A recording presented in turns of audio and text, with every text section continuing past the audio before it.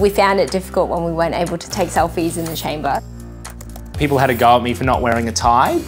Oh my God, come on. Hi, it's Tom, and I'm in Parliament House in Canberra this week where I've been watching the politicians we elected in May settle into their new jobs. I think for the first time the Parliament reflects people of all different backgrounds. I don't expect people to judge me for wearing my scarf. They've been coming up to me and saying, oh my God, seeing you gives me hope for a, an inclusive Australia. And I'm like, well, I, I didn't do anything but just, you know, enter Parliament. I think the missing piece also, though, is young people. It would be great if we did have more younger people in Parliament. So you can come for me. There are only four MPs who are under the age of 30. I sat down with some of our youngest MPs and some of our newest MPs to hear what they think. I think the reason young people don't take an interest in politics is because they see it as so abstract. The primary barrier has been that it's just not a space that young people should be in. Well, it's very hard to get in. I mean, the parties make it very difficult for younger people to break through.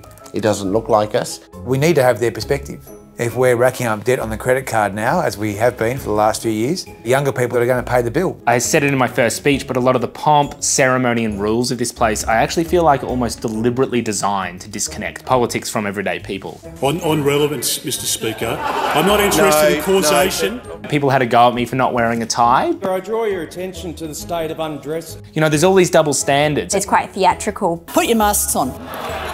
The procedure, when you're getting up and there's just the, all these formalities, and I understand and respect it to a certain degree, but then there's the shouting and the yelling. And Well, hang on.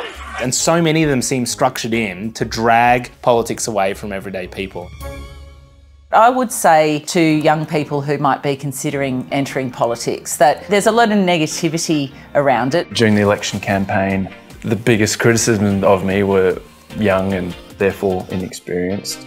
And the second one was that I didn't have a political background. He's a little bit different. you get the occasional trolls online, but you know, just brush them off.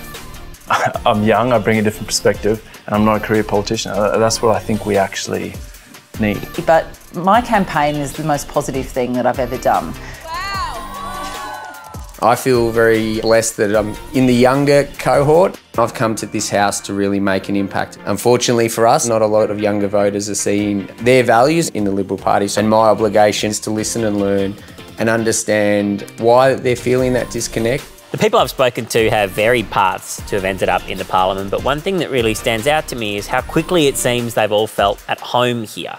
Every one of these MPs feels like they belong in Parliament. There's a genuine sense of optimism among these new MPs and young MPs about the way the Parliament is changing. I had a good quote that I like from Zali Steggall. If you're not at the table, you're on the menu. Yeah, if you're not there in the room, they're just going to steamroll you.